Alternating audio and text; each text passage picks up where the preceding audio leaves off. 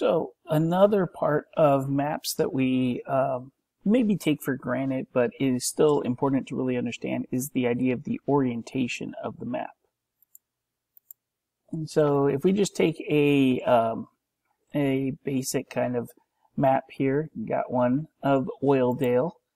Uh, usually our map orientation is denoted with a north arrow. So we can see uh, down here on this map of Oildale that we've got our north arrow right there. So we know that north on this map is going to be up. Um, most of the time, uh, maps are going to be designed with north facing upward. However, north can point uh, in any direction if labeled correctly. So just to kind of illustrate that point, here is a um, different way to look at the world with north pointing south. And so you can see that um, it's still a correct map. It's just a different way to look at it. But one thing that I think is important to, to understand or to think about is why is north up on maps? And so to really break that down, um, I found this uh, article on from UCSB uh, geography. So most modern day maps show an orientation uh, with north at the top of the the map. Uh, in other areas, different directions were at the top and more prevalent, and all directions have been used by different societies to um, depict the world. But when it comes down to north being commonly placed at the top of the map, um, the big factors are the invention of the compass, the understanding of magnetic north, and then egocentricity of society, mainly in Europe. So a compass points to magnetic north in Europeans, like other cultures, um, long before noticed that the Earth spins on its axis and it's relatively pointed to the North Star. So the idea of um, the idea of the fact that we think that we look up to see stars, not the idea that we're around planet and that stars are all around us, but the idea that we look up to see stars and then we decide to name that one star that we that they used uh, as the North Star, the one that was helpful in uh, in direction and finding your way. So you look up, it's north. So that's they decide that that north should be up on maps. And so it's just it's kind of an interesting to to figure that out. Um, there are some other articles with the idea of do north and south actually mean anything? Could we have called it anything? Does does the concept actually have any meaning to it? It's it's really kind of an interesting idea to think about. So here's just another one of those um, looks at the world. Uh, if uh, if we didn't consider uh, maps to be so European centric and so focused on the idea of um, Europe kind of being in the center. If we looked at a map um, differently, and if this was the normal map, how would we view Europe? Would it be the same way that we think about it if this was the way that the map looked at? Because when you focus in on this map, the first thing you notice is Africa. Whereas in the way that the map usually is um, position, the first thing you would notice is Europe. So it's just something to think about um, the projection of the map and the way that the the map is oriented as to um, what you kind of gain as important uh, when you think about the map and look at the map. So this next section, let's focus on measuring distances on the ground using maps. So uh, the, you guys have done this in, in lab. Um, a pace is two steps. You count on either your right foot or your left foot. And you walk your normal pace. Uh, whether the land is rough or smooth, you want to just come up with a a gait or a um, pace that you can walk no matter what terrain you're on. Um, our goal is to figure out paces per chain and then be able to figure out how many chains we need to uh, make up the actual distance that we're looking for. So when we're walking, if we're practicing here, we just want to pace it out. We want to walk our normal pace. We don't want to uh, think about what anybody else is doing or however many steps or paces it took anybody else. We want to just trust ourselves, walk our normal pace, and figure out how many paces it's going to take us to walk one chain and then from there be able to apply that measurement to our other um, other distances. Um, one thing that's important with uh, turning is that uh, when you're pacing, if you've got to turn when you pace, you have to walk a straight line. Um, so you can't measure curve. You must walk a straight line. Well, if I've got to go around uh, something, I can't take this straight line through it. I've got to go around it. Well, a nice bend would look like this. But if I'm pacing it, I've got to go straight. So I go straight, straight, straight, straight, straight. So I can go, I can pace around corners, but I cannot, I can't make arcs when I pace. I've got to go straight. I've got to turn a little, go straight, turn a little straight, turn a little straight, turn a little, and go straight to be able to measure accurately that, um, that curve. If I have to go around something when I'm pacing, I'm going to do something which is called offsetting. So I'm going to walk uh, let's start here at the bottom. I'm going to walk up. I see this big tree in my way. I'm going to turn 90 degrees and I'm going to walk a distance until I can get around that object. Turn 90 degrees again back to my original course and go up. Then turn 90 degrees the opposite way from the 90 degrees that I turned the first time and walk back the same distance that I walked away from the, the tree and that should get me right back on my line. And the whole time I'm checking my compass and making sure that I'm taking the right um, the right angles to make sure that I don't um, end up on a different line on this side of the object. Whenever I can, though, I want to go straight because that will um, create the uh, least amount of uh, problems. So Another thing to kind of discuss um, with the idea of uh, of measuring distance on the ground is the idea of uh, horizontal distance versus slope distance. So if the ground's flat, it's going to be easy to figure out, and I'm going to be able to look at a map and measure it uh, with a ruler, and more than likely it's going to come out exactly the same. But if I'm dealing with um, any of those contours and I've got slope involved, slope distance and flat ground distance are more than likely going to be slightly different. And so, um, in terms of our relationship between map distance and ground distance, our map scale, um, that relationship is true only true if the ground is completely flat or if you're flying over an area because you're so far up that everything becomes uh, flat and flattens out again. And so in this example right here, we can see that if we just measured between A and B in terms of a flat map distance, that'd be 384 feet. But if I actually have to walk from A to B along this ridge line, that's actually going to be 470 total feet. So it's really important to understand that slope is, when it comes into play, can change um, that distance. And more than likely, uh, if your area has topography, your map um, your map distance is going to underestimate the distance that you actually travel. So let's take a look at it using topographic maps. So here is our basic topographic map. We've got our um, our basic uh, USGS 1 to 24,000 uh, representative fraction or RF. So here is the area we're going to try and walk. If we measure this out, it measures out to one inch of map distance. So right away, hopefully in your head, you're going, all right, well, that means that this, I'll use inches and this becomes one inch.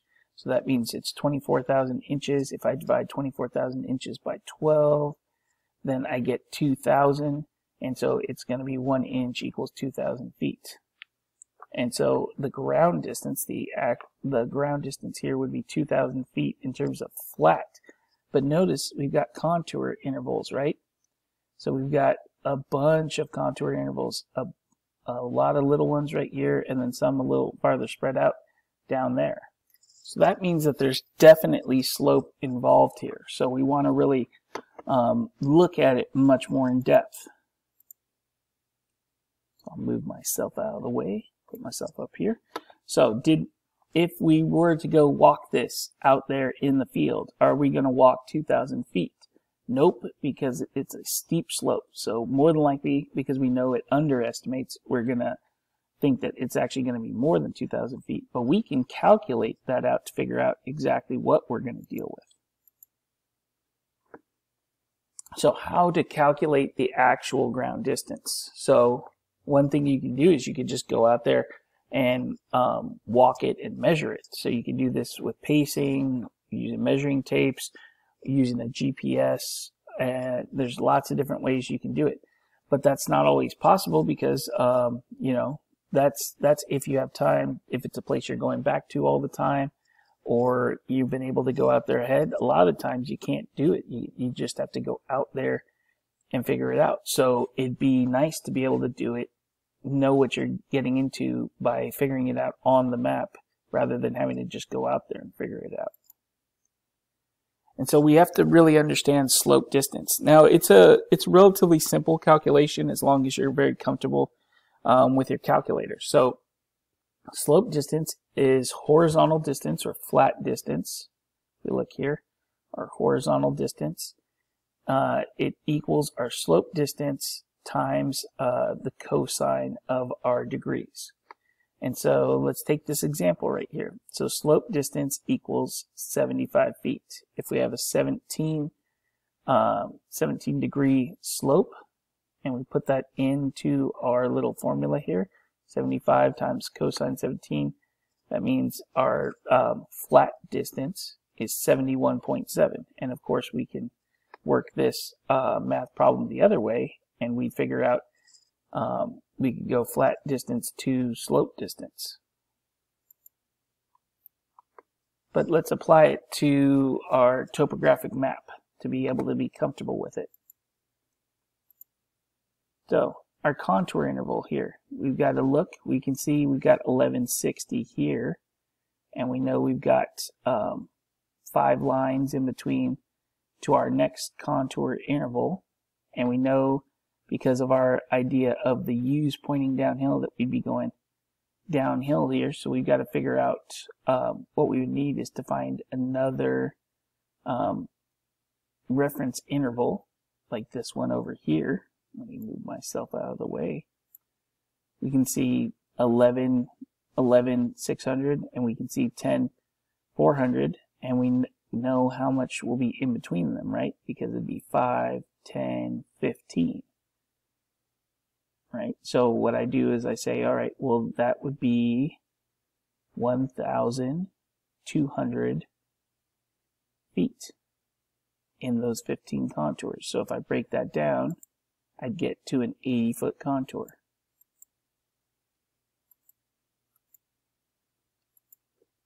Move myself out of the way again here.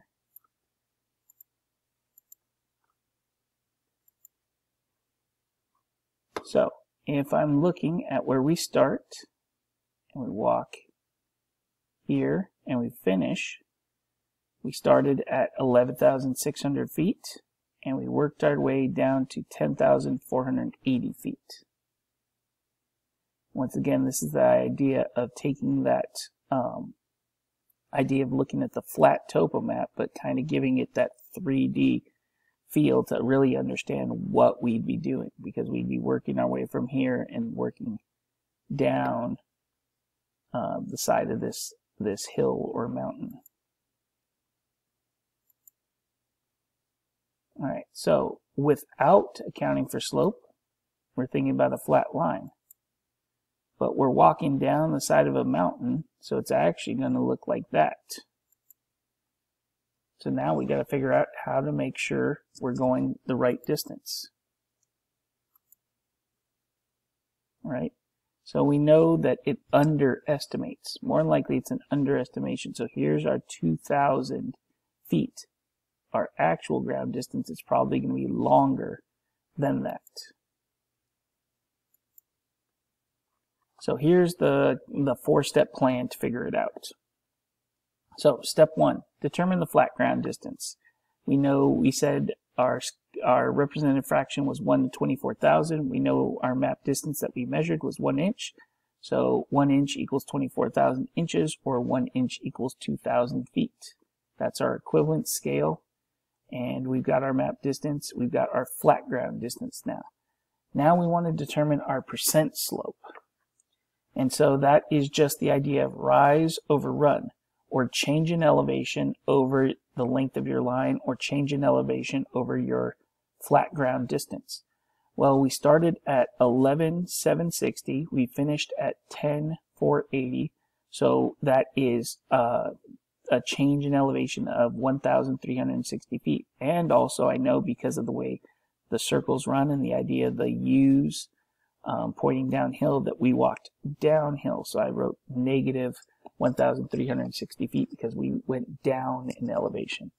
Now, the negative or positive does not matter for calculating percent slope, but it's always important to just denote something like that so you remember, oh yeah, I walked downhill.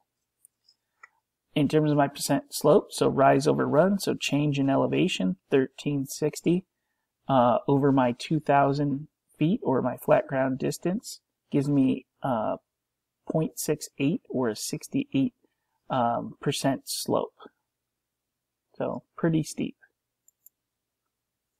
Now, for step three, I want to convert that percent slope to degrees because if we remember back from a couple slides ago, we were looking at slope distance using degrees.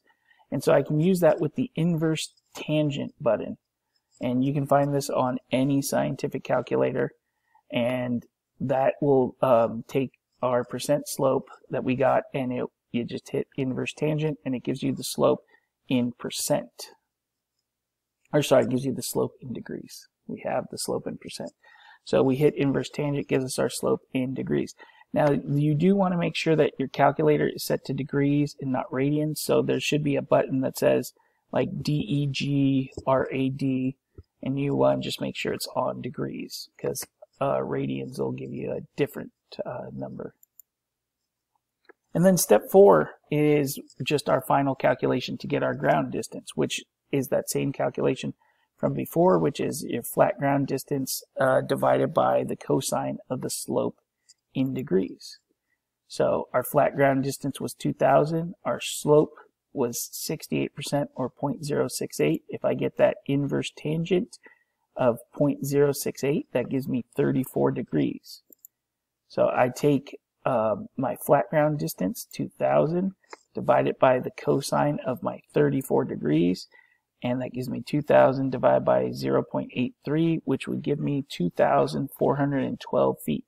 So my flat ground distance, if I measured it on the map, was 2,000. But what the actual distance is, is 2,412 feet, which 412 feet is a big difference between 2,000 and 2,412. So it's, it's important that we understand how to calculate slope even on a map so we can really account for it and really understand where we are and the amount of effort we're going to have to put in when we go into the field.